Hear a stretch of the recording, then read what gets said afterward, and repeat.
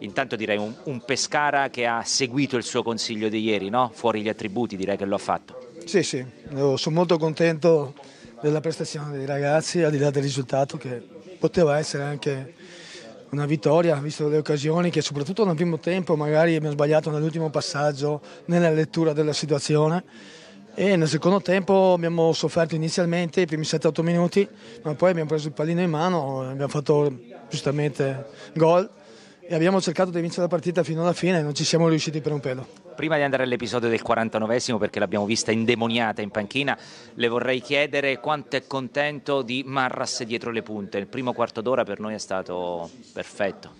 No, no, è chiaro che è un ruolo nuovo per lui, però è un giocatore che lo può fare bene perché ha attacca bene lo spazio, molto bravo nella fase difensiva nel ripiegare, può fare molto bene questa, questa situazione qui, perciò sono contento nel globale, insomma non era facile cambiare sistema di gioco, venire qua, imporre il gioco come abbiamo fatto nella prima parte della partita, peccato per certe situazioni sul gol che abbiamo preso che mi sembra sia scivolato Campagnaro, scivolato nel momento che lui ha chiuso, chiuso il tiro però abbiamo avuto una buonissima reazione fino alla fine, abbiamo cercato poi di vincerla fino alla fine, ma non ci siamo riusciti per, per un pelo. A noi i rigori contro ce li danno, tutti e due.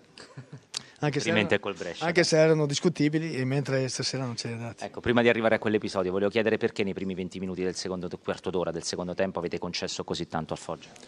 Eh, perché abbiamo cercato di aprirci e loro sono stati bravi nel colpirci contropiede, mentre dopo siamo stati più ordinati, abbiamo fatto meglio le cose e si è visto la squadra negli ultimi 30 minuti un altro tipo di squadra. Questo 4-3-1-2 c'è un pizzico di rimpianto per non averlo provato un po' prima? Magari qualche giocatore che ha scelto Lecce, mi viene da pensare Tuminello col doppio attaccante avrebbe preferito Pescara con più chance. Beh, adesso non, non, non guardiamo queste cose qua, se Tuminello voleva venire veniva, veniva e basta. Non teniamo fuori storie, noi abbiamo Monachello che sta facendo benissimo. Una buona partita? Ha fatto molto bene Monachello, sono contento di lui, basta queste storie di chi veniva, di chi non veniva, non me ne frega niente, io devo guardare avanti. Sono contento di Monachello, sono contento di Bellini, sono tutti contento dei ragazzi che ho lavoriamo anche di Crecco che è entrato bene. Sì, lavoriamo con quelli che, che dobbiamo mandare avanti la situazione, basta con, con queste storie, con queste allora, polemiche che, non, c'entrano, non, c'entrano, niente. Visto che l'ho fatta arrabbiare un po', finisco di farla arrabbiare, 49esimo, Brugman a nostro giudizio completamente travolto dalle ali, lei è entrato in campo.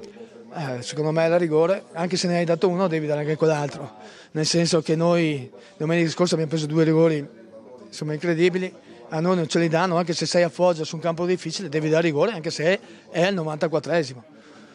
Secondo me c'era, visto così, con la dinamica, però pazienza, guardiamo avanti, guardiamo la prestazione della squadra, guardiamo quello che abbiamo fatto di buono. Eh, sono contento soprattutto della reazione che ha avuto la squadra sul piano caratteriale. Questo è l'assetto definitivo, il trequartista? No, non c'è assetti definitivi. Mm, lavoriamo settimana per settimana e poi vediamo.